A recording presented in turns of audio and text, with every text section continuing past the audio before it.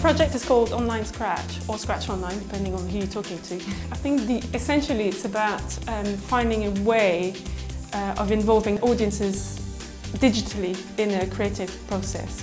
I think another interesting thing is that we're using open source technology. So this is very much a thing that we can create and other people and other arts organisations can look at what we've done and, and replicate it. We've uh, gathered three orchestras and we've worked with three different halls and we're broadcasting their one concert each.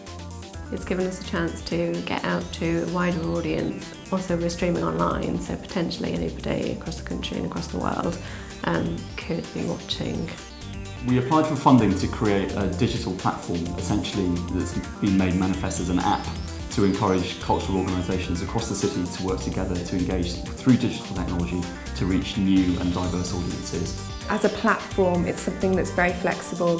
This time, the themes that are uniting the locations are Dickens, but the next time it could be a theme like climate change or something that lots of cultural organisations can tap into. Happenstance takes six technologists and puts them into three arts organisations for two five-week sprints. I hope that, that what will come out of this would be a recognition that innovation doesn't necessarily need to be planned.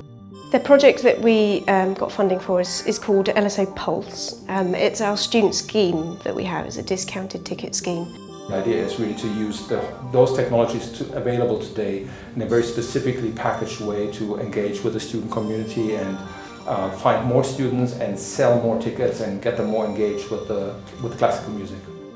The idea of the project um, of Culture Cloud is really to engage audiences, artists and curators and to see how they interact within the marketplace. And it's really providing a digital platform for artists to um, engage with curators and for audiences to then vote and support works that they like that can then feature in a gallery. The idea behind social interpretation is that we're using social media concepts and putting them onto museum collections what kinds of policies do we need to put in place in terms of conditions and moderation policies to support the activity that we're doing and, and that we feel will be very transferable to the rest of the sector. Punchdrunk is a company which specialises in uh, staging productions in disused sites, often abandoned buildings, and turning them into the world of whatever show we're reimagining. The most important thing for me that will come out of this for other organisations is an understanding of how to approach digital technology and understanding of how to develop projects with digital partners.